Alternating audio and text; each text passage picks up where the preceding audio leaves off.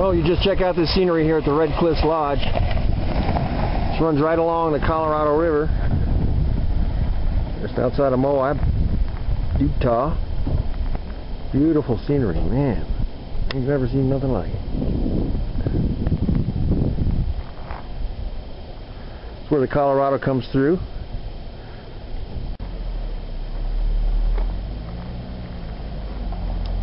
Breathtaking scenery here. It's amazing. Got the full panoramic.